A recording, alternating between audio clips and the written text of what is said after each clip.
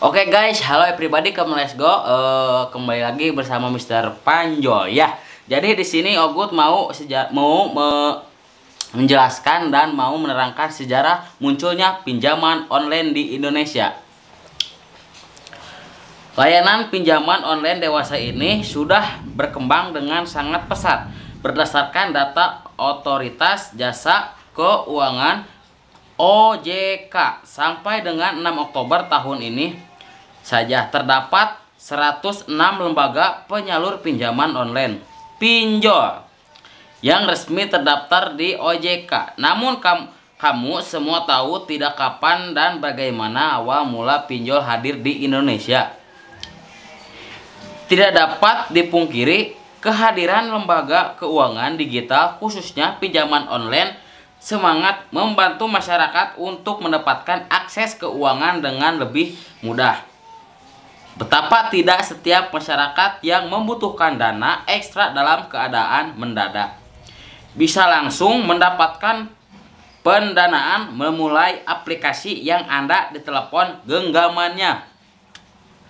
Masing-masing calon di Bitur tidak perlu repot untuk datang ke kantor cabang untuk mendapatkan akses pendanaan. Tidak perlu juga membawa persyaratan administratif admin administratif eh heeh maaf sorry mulai ulang. Administratif yang cukup rumit ya. Lantaran kebanyakan masyarakat yang dibutuhkan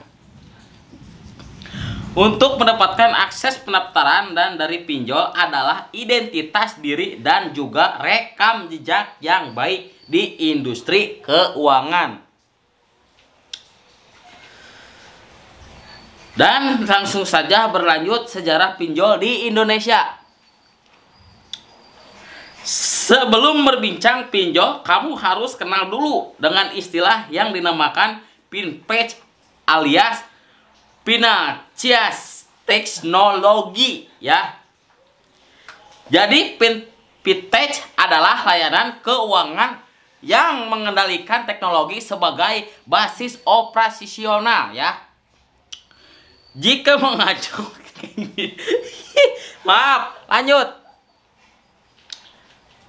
Jika mengacu pada OJK, fintech adalah sebuah inovasi pada industri jasa keuangan yang memanfaatkan penggunaan teknologi. Nah, Inspet sendiri saat ini sudah menjelma menjadi sebuah industri.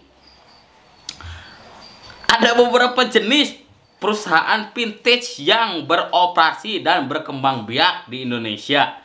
Mulai dari crowdfunding, miscrofinanceing, digital payment system, peer-to-peer lending dan juga aggregator ya.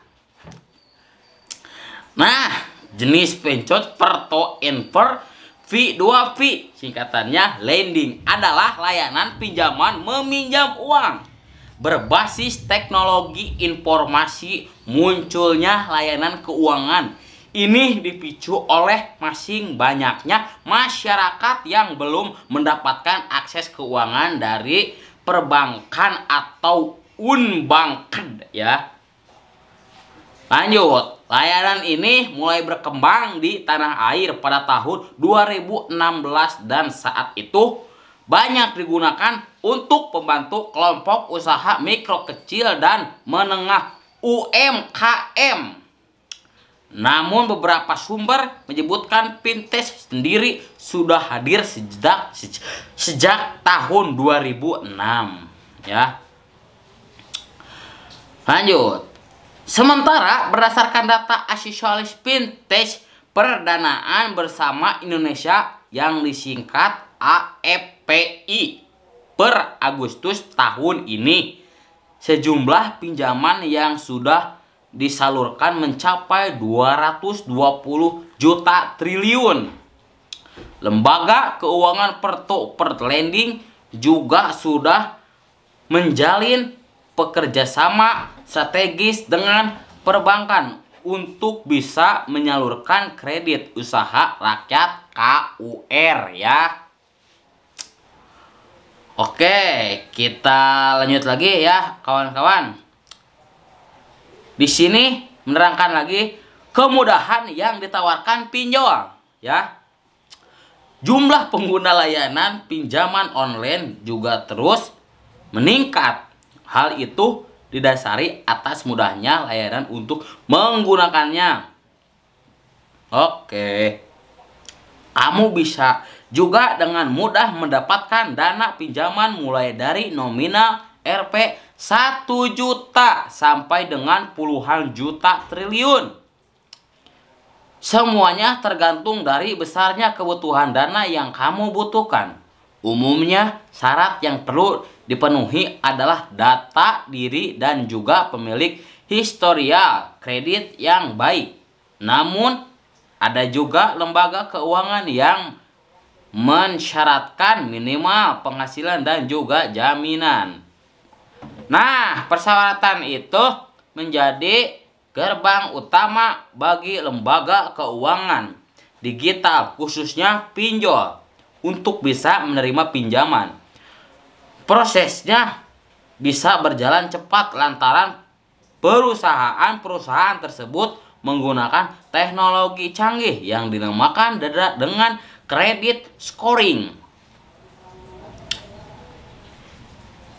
Nikmat kemudahan akses pendanaan di Pinpedia. Kamu yang saat ini membutuhkan dana cepat untuk ragam kebutuhan bisa mengakses Pinpedia id katalog Pinalias atau menyediakan ragam produk keuangan yang lembaga perbankan, pembiayaan maupun pertok per lending mulai dari kartu kredit, kartu tanpa anggunan, pinjaman modal usaha, pinjaman instan, pinjaman dana darurat, pinjaman dengan anggunan sampai program, cicilan biaya pendidikan bisa mendapatkan dengan mudah di Pinepedia Di sana kamu bisa melihat informasi mulia dari suku bunga yang diberikan, jangka waktu, syarat yang dibutuhkan sampai pengajuan bisa dilakukan di Pinpedia. Seperti layanan keuangan dari Penelos yang memberikan pinjaman tanpa angguran mulai dari 800 juta sampai 2,5 juta bunganya super murah 0 per 4 persen